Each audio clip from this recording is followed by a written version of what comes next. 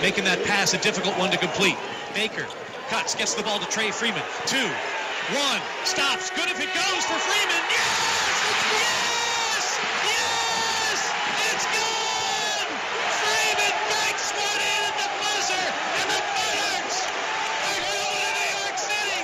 Holy smokes! It is the split second that defines a sporting event. Sometimes for the ages. Remember Christian Laettner beating Kentucky, Lorenzo Charles beating that great Houston team for the NCAA title.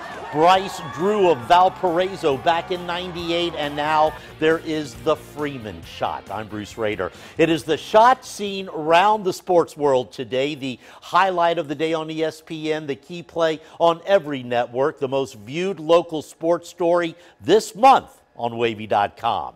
Up by 10 points in the final four minutes, the visiting racers from Murray State raced back and cut the lead to three in their quarterfinal game against Old Dominion, then tied it on that three point shot by Jeffrey Moss with 3.8 seconds left.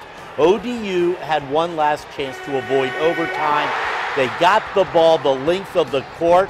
Someone would have had to hit a desperation shot at the buzzer and provide one of the most exciting finishes in school history, and that someone would be Trey Freeman.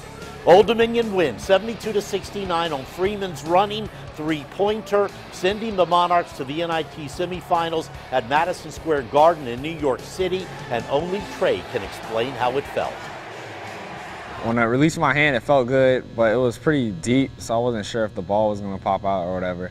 But yeah, I, I, wasn't sure if it was going to hit backward or not, but I just tried to put it online and basically hope for the best. I can't say that I, I can remember uh, in, in practice the it working the, the, the same way, but uh, you know, you guys guys knew what they were supposed to do, and, and Trey made the, the right decision.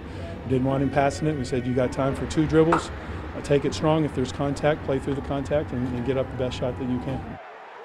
The Monarchs will play Stanford in famed Madison Square Garden Tuesday night for a trip to the championship game. A remarkable turnaround for a team that was only 5 and 25 before Coach Jeff Jones arrived in Norfolk less than two years ago. You know, we're really excited about going up to New York.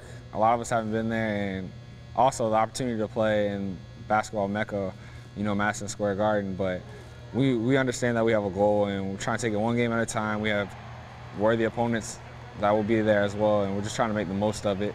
And we know Stanford is going to be tough, so we're just preparing. We're starting to prepare as soon as possible for these games. I'll have much more on this incredible story in the sports of the day coming up tonight at 1045 on the Fox 43 Sports Wrap, and I'll see you guys back here at 11. That was pretty exciting, wasn't yes. it? Yes. Oh, my goodness. Still is. Yeah.